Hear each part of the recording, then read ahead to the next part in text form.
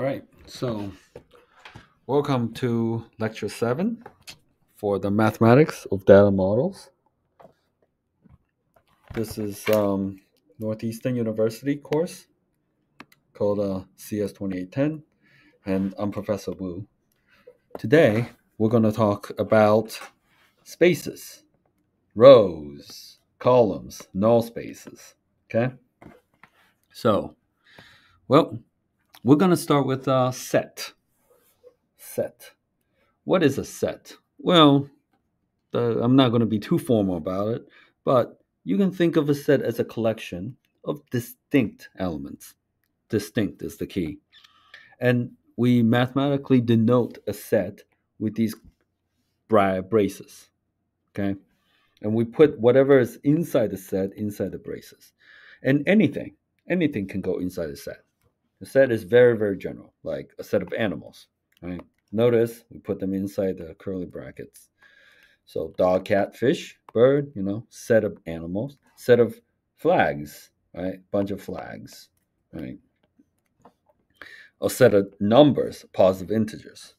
If your set there's nothing in there, then it is called an empty set. Empty set, which has nothing. And the symbol for that is just kind of circle with a line across it. Now we like to uh, denote set by a cursive capital letter. Cursive capital letter. We we tend to like to do that. So now we talked about a set, a space. When you hear people talk here about spaces, it's basically just a set that it has some kind of defined properties. Okay. And you can define the property however you want. So here's again, these are the sets that we have. So if you just have a set, you don't necessarily have any properties defined with it. For example, it's with a set of flags, how do you add these two flags? Well, it's not defined, right? So so so you don't know how you can put one element of the set add to another element. This is where this concept of space comes in. Spaces. Well space is just a set where certain structures are defined. Okay? Once you define it then it makes sense. So now this is a set right? This is a set. And now i'm going to make it into a space. And i'm going to give it a name. We're going to call it the Professor Wu space. And the Professor Wu space specifically defines addition. How do you add these two flags? Well, it's just the summation of the population of the two countries. Okay? And that's it. You, you get the population of one, you get the population two. Now you can add them together. So Professor Wu space Right? There are many, many different spaces with various different definitions. But for me, we just define how you can add two elements. Now, a set can be defined by a vector. Okay, so another way to define a set is through some vector. Let's say we have vector 1, 1. So the vector 1, 1 could be something like this, right? So 1, 1, that's a vector. Now, we can use the, the define a set as all the possible points reachable by some constant multiple of the vector. So if we multiply, so therefore 1, 1 is this point. But we can multiply this by 2. So 2, 2 is also in it. We can multiply by 1 half. 1 half and 1 half is there. Or, or we can just multiply by half. So therefore, any point every single point here belongs to the set defined by a vector. So this is another way to define a set through vectors. And the way you define it will essentially essentially say that, well, um, any number, any number multiply by this vector so will create another vector. So any ve- any vector that is possible with any alpha value is part of the set. So essentially this whole line. So obviously minus 2 minus 2 is on this line. 3 3 is along this line. So all of these points will be in the set.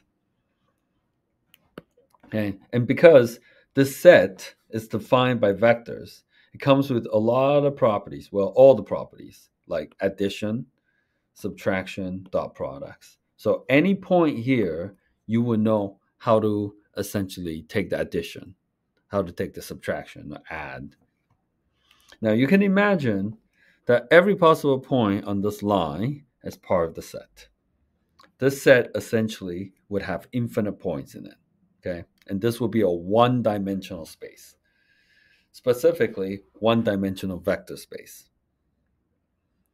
Now, we just talked about set, space, and how a set can be defined by vectors.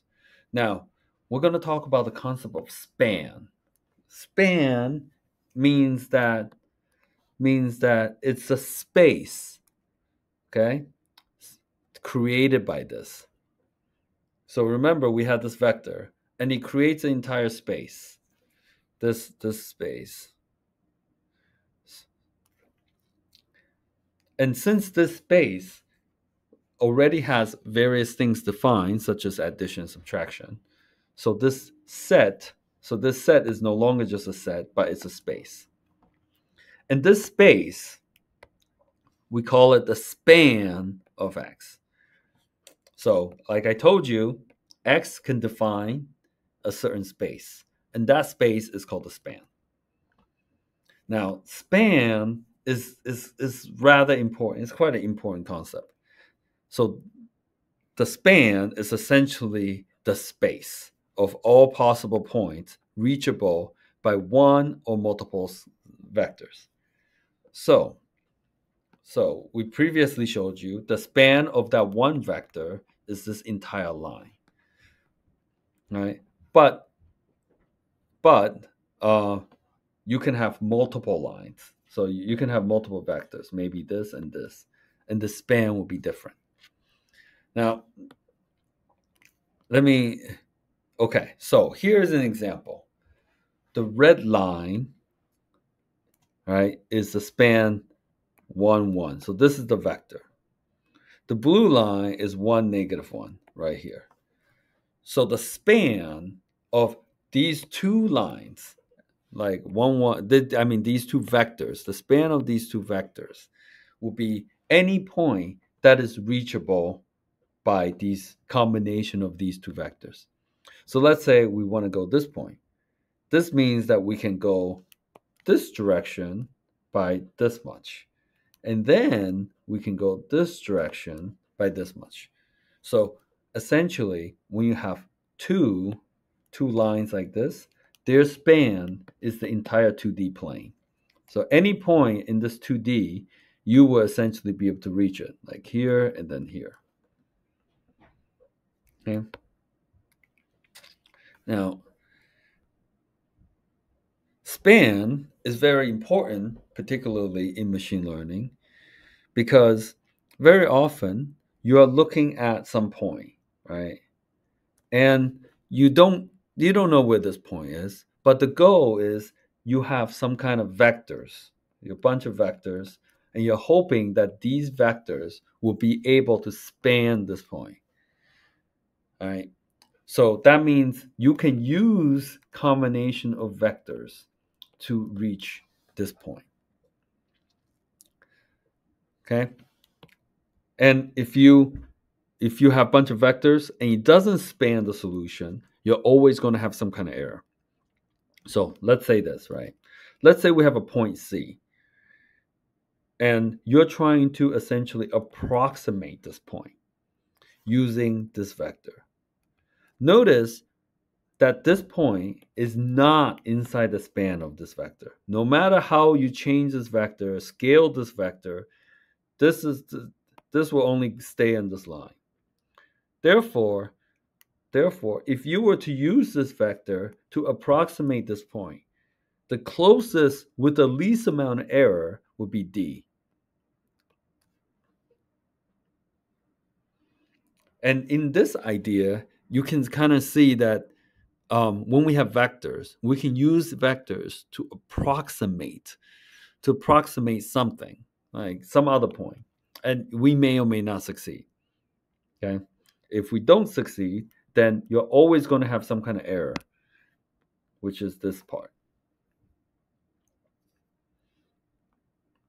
Okay, the span of multiple vectors. So remember, I told you the span of a single vector is a set such that you can pick any any alpha to create a set. Now, for many of you, you are probably not familiar with this notation. This notation is called a set builder notation. It defines a set such that alpha can be any real value. So you pick any real number, right? It's it's building a set. And then we'll pick alpha equals to 1. So 1v. So that's inside the set.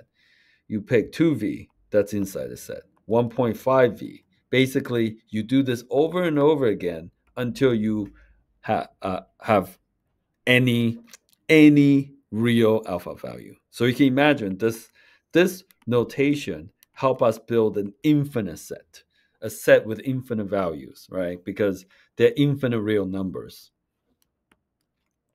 So the span of this is the is basically every single possible point where alpha can be real. Okay? So that's just one vector. Now if you have if you have two, three, four multiple vectors, then the span of multiple vectors is the linear combination. So linear combination of, of them. So any value that could be reached by any A, B, C. Okay. So we're again building a set, right? So you pick some ABC value, put it in. That's one value inside the set.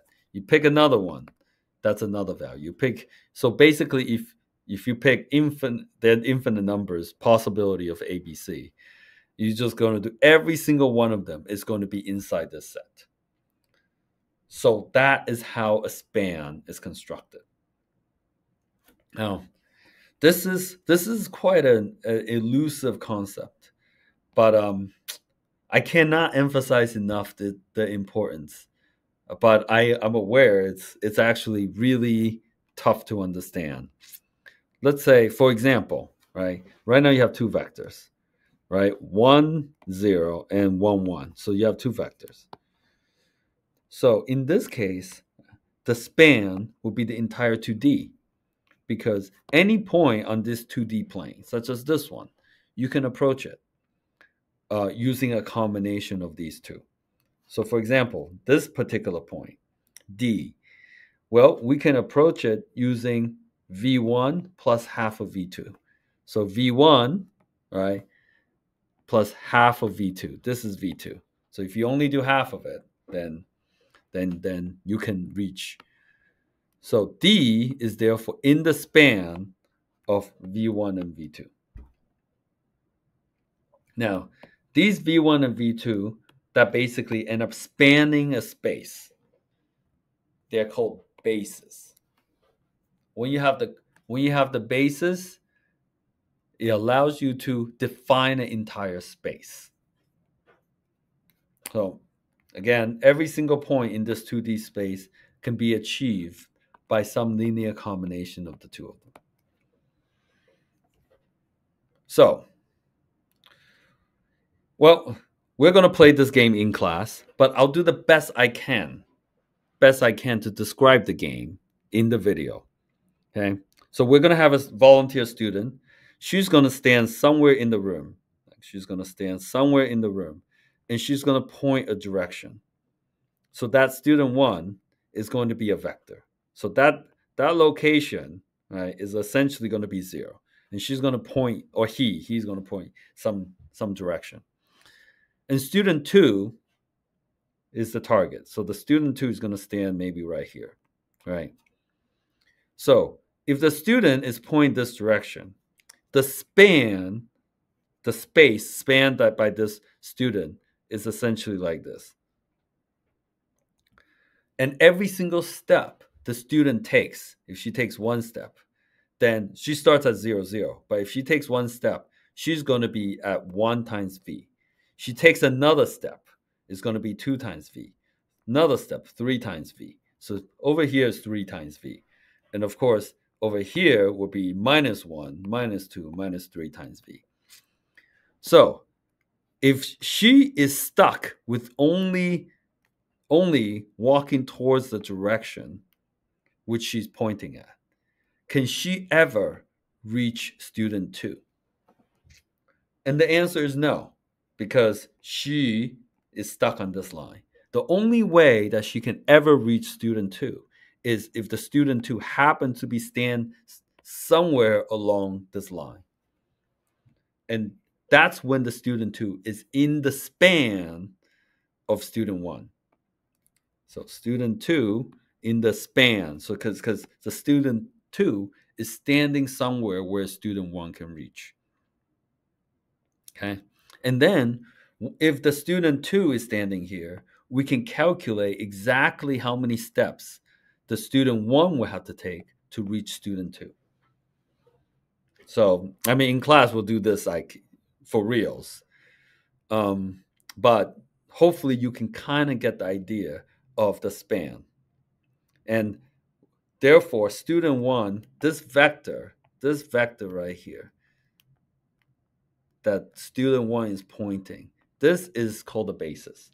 Okay. You use the basis as to tell you the direction. And with the direction, any any point along this direction is part of its span. So in game two, in game two, student one and two are the vectors. So now we have two students. Like over here, here's zero, zero. Let's say student one is pointing this way, right?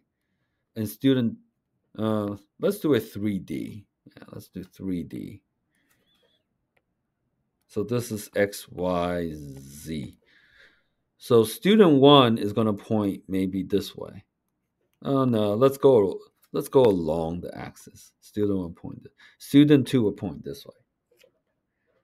Student three, let's say student three is standing right here.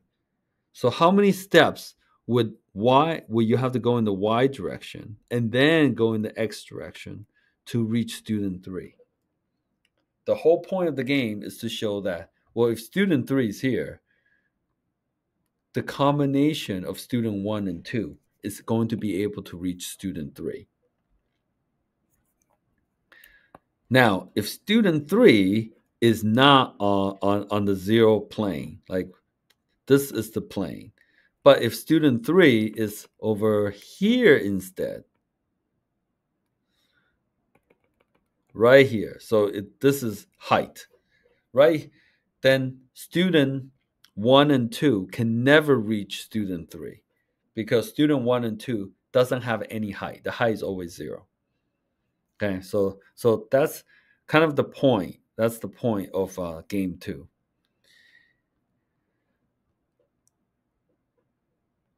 All right. Well, game three and four, it gets a little complicated to draw. You you kind of need to see it in person. So I'm gonna skip it here. And, and game five it's even more complicated. So we'll, we'll skip that. So hopefully you came to class okay? And you you will be able to uh, visualize what we're talking about. So different bases different bases can span the same space. So these is v1 and v2 obviously this is different from u1 and u2 however they span the exact same space, which means any point here, right, can be reached by these two combination of these two vectors. And any point here can also be reached by a combination of these two vectors, right? So over here, I think you can go like, go like, let's see. Yeah, the this one is easy. You go here and then you go here. You can reach it. This one over here, I think you go, yeah, you can go here, right? And then you can go this way, and then you will reach it. So You don't need to have the same bases. You can have very different bases, but span the same space. Two vectors does not imply 2D. So over there, I showed you you have two vectors, and now it spans a 2D space. But sometimes two vectors can span the same space. So 1, 1 is here, right? And then 2, 2 is right here. So you are not adding extra information. Like yours, even even though you have two vectors, their span is still one line. Okay. Now, the true dimension spanned by a set of vectors is called a rank. So just because you have two vectors, it doesn't mean the rank is two. In this case, the rank is only one. If the number of vectors is equal to the number of dimensions span, then it's full rank. So you have two vectors and you happen to span two dimensions, that is called full rank. Otherwise, your rank is not full, it's only partial. So how do you know if a point in the span for a set of vectors? Okay, how do you know that a point is in the span for a set of vectors? So let's say we have vectors 1, 2, 3, right? And we have a point u. And we want to know if u is inside the span of three vectors. This is equivalent to ask if there is an ABC, right, such that A times some V1, B times some V2, and C times V3 that would equal to U. So you we have seen this many times, right? So this right here can be written this way. We have three vectors and as long as there's some kind of A, some B, some C that can recreate the output, the, the two and one, that means this point is spanned by these three. Okay. Now, how do we solve this? Well, we this right here is just equivalent to solving this and we have done this many many times this this right here is just gaussian elimination this is why i told you previously the gaussian elimination is so important. Like everything you're solving is like gaussian elimination. So once you solve this if you have an infinite or unique solution that means the target is in the span of the, the vectors here. Okay? In this case we are viewing the vectors, the columns, okay, as the vectors. So it's some combination of these vectors that allows us to reconstruct this point. And therefore, these vectors, columns, form a space. And this space is, is spans, spans this point.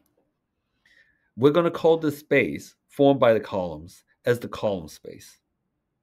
So you you take the columns, you take these columns, right? With the columns, you they form a space. They define a space, and that space is called a column space.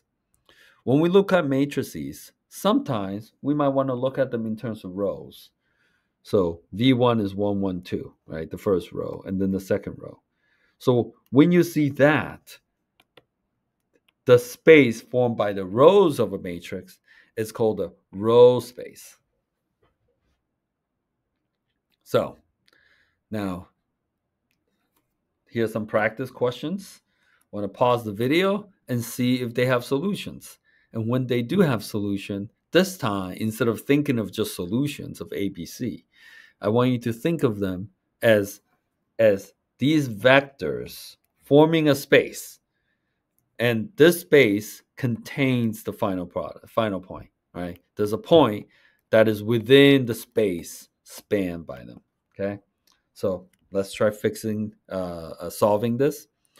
Pause the video because uh, I'm going to move on, okay? Here's the solution. Feel free to feel free to study it. So this leads us to a yet a new kind of space, right? We have learned column space and we have learned row space. Another space is called a null space. Now, this is a really, really special space because very often we may mathematically model like some kind of system. For example, a boat, right? If we have a boat and we can model, right? Especially like here's a sailboat. So let's assume we have a self-driving sailboat. Okay. We have a machine that can control how much we pull the ropes of the sail. Okay. So so we have this is self-driving one and the machine can pull the sails. By depending on how you pull the sails, it creates a force in some direction east, north, south, east, west. Okay. And that is what the output is. So, depending on what we put into X, the output Y sets the direction. So, so let's say you have one north, south, east, west. So it's applying force in the north direction, or it's applying force in the northeast direction. So as long as there's a value here, it tells you that it's applying force on the boat uh, in a particular direction. Therefore, therefore, there's a very special one is when you apply no force anywhere, and that's when you want the boat to stop. It's kind of important for the boat to stop. So that that help us understand the null space. So the null space is all possible input of x such that your output is zero. Okay? So in this self-driving sailboat example, essentially you want to figure out exactly how much you want to pull each rope so that given the current wind condition, given everything, that you would essentially stop the boat because no forces apply anywhere. Of course, you can just pull up the sail, but this is just an example. Now, to find the null space, it's actually really, really easy. We just we found the inverse last time, and the idea is like so similar, right? The idea, like I told you, this right here, if this multiplied by by the the the matrix give you zero, this means it's in the null space. So if you want to find the null space, essentially you can just form the matrix and make sure the output is zero. That's it. Because you are trying to find the output to be zero. Right? So once you solve the reduced RREF, right? If it has multiple solutions, you can essentially form the null space this way. Because this is the solution where the output is zero. So now what you want to do is see this as a matrix. We'll call this matrix A. And we want to find the null space for this. Okay. So here's the matrix. This this this part is A. And then you want to make sure that when you form the augment matrix is all zero here. Of course, you kind of don't need the augment matrix because it's always zero. This this is not going to change. It's always going to be zero, regardless of how you do row swap. Like you can try it. You'll you'll see that's true.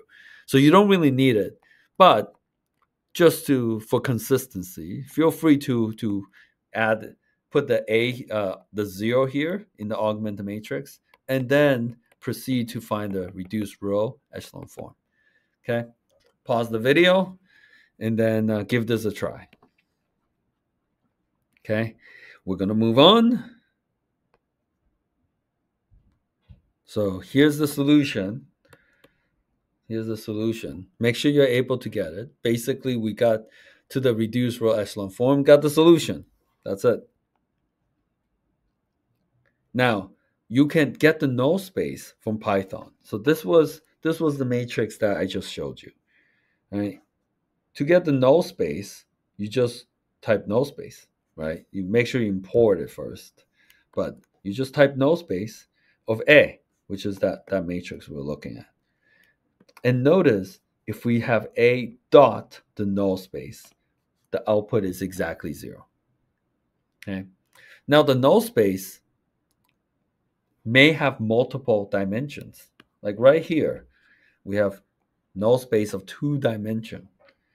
Okay. You might be wondering, isn't that isn't that one, two, three, four, five, was five dimensions. Yes, the vector is in five dimensions, but the space spanned by these two vectors is just ultimately two vectors in five dimensions, right? If you have two vectors in five dimension, these two vector can at most form a plane, which is 2D. So this is the example where you have two vectors and or in five dimension each vector, but the space they span is only two dimensions. And these two dimension uh, two vectors are like I said, they form the basis of the space. Okay. When somebody asks you about the basis of some space, basically the vectors that essentially you use to create this space. So here, notice when I got the null space, they said there are two dimensions. Uh, sorry, when I got the null space, essentially, yeah, you, you got two you got two bases, like I just showed you. You have two bases. And therefore, therefore, you when you multiply the null dimension here, you're going to get two columns of zeros.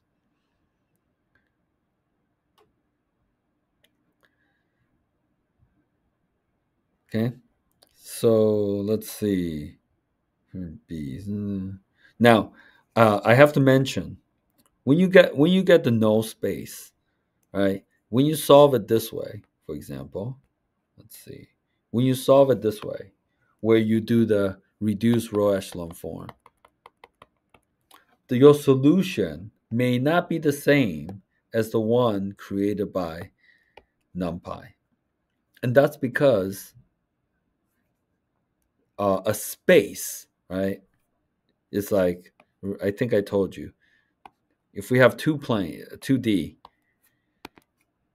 you can have these two vectors and it will span the entire 2D space. Or you can have these two vectors. It will also span the 2D space. Therefore, what you find by, by hand may not match with what NumPy finds. But the key is if you take what you have and plug it in, and take what NumPy have and plug it in, where you multi you dot by dot by um, the matrix A, you are both going to get zero. Okay, so remember, we got the null space, and we call it B. And notice that my the B from NumPy is this. We also got the null space by hand, right? So I'm going to write that here. So that is C. And notice when you do C dot A, you also get zero. As opposed, as opposed to B dot A, you also get zero. So both of them will give you zero because they're in the null space. But they are not necessarily the same because, like I, I showed you, you can use this and this will span the 2D, or you can use this and that will also span the 2D. So I don't know. I don't know how NumPy picked it, but the idea is the same. So in summary, the span for a set of vectors is a set containing all positive values achievable by linear combination of the vectors. Okay, so you're combining them linearly, like a linear function. Different bases can span the same space. So this one and this are different bases, and yet they span the same 2D space. And then we can use Gaussian elimination to determine if a point is within the span of a set. So as long as you use Gaussian elimination, you can show that there exists a solution such that you can reach the target. Then then then it's this it does span that point. Right? If it doesn't, then it does not span. We called these columns the space spanned by the columns of a matrix column space. And other way, if you use the space spanned by the rows are called the row space. Okay? And lastly, the null space of A is a set of all points x, right? Such that ax is equal to zero. So that's the null space. And I explained to you why null space could be important because very often you want the output to be zero. You want to zero it out. So the null space tells you all the possible inputs. Side note. Well, so I I don't know if I'm going to talk about in this class, but if you understand the concept of spaces and what they span, right? You can think about how your brain absorb information where your brain has a set of bases, right? Set of bases. And if you're the basis in your brain is okay, let's say I give you a new piece of information, right? And this piece of information, if it's within the span of your existing basis in your brain, then you can you can kind of picture that you would be able to understand this concept. Okay. I'll get I'll give you a more concrete example. If I say the cat is soft, right? In your brain, there is a basis, there's some direction that understands the concept of cat. Right. And it understands the concept of soft. Therefore, it's a combination of cat and soft. So there's a point in your brain, right, that combines the basis of soft and cat. Now, if if I give you yet a different type of information, I say cat is this thing, and you you have a basis for cat. Therefore, you're going to understand this part. But this information, the, the true information, is the combination of cat and something Korean, which I have no idea what this says. Right? I don't know what that says. Therefore, therefore, your understanding will only be as close to here. The cat is something, but you are going to have some error of understanding, right? Or if I say this, like the cat is this thing, right? We're going to have some kind of error because we only understand the cat. Only the people that speak Korean, right, possesses this basis. If they have this basis, then they will say, "Oh, this is combination of cat and whatever Korean says there, or Russian, like Russian maybe is over here, right?" So uh, the the idea of span and basis really allows you to understand, like we can even model our own brain based on this. I'm currently trying to like like work on this kind of way of thinking about learning and see if we can mathematically uh, uh, model it. But in this example, you have the basis for something, but you're missing some basis. Therefore, this as a point, information point in space, you will always have some kind of error. And over here, here's yet another one, right? If you have no basis, then you are not going to understand anything. Therefore, you'll be complete error. You you you you basically will get no information. You have no idea what's said. All right, I have I have no idea what this is. So, the reason why I push you guys so hard in the beginning is because forming these bases will allow you guys to understand, will allow you guys to understand what happens later. And the more you lag behind, the more you are going to miss these bases. And therefore, when you come to class, you're not going to understand. And the error is simply going to build and build such that basically you you will no longer span the incoming information. So when your error gets so big, you are in- incapable of building new bases anymore because whatever I tell you, you it's going to sound like this. All right. So essentially like me putting you through the grind is very important initially because that's initial part is like the basis building. I don't know if any of these make sense, but um, but that's that's essentially how my teaching philosophy came from. So for the final exercise, right? Here's the matrix. You want to you want to find a basis for the null space of the matrix, right? You want to find a null space. Uh, recall that the null space is just all the possible x such that the output is zero. And then you want to determine if each of these vectors, right, is in the row space of A, the row space, and then see if these vectors is in the column space of A. Okay, give this a try. I hope uh, I hope that wasn't too hard. Okay, I will see you next class.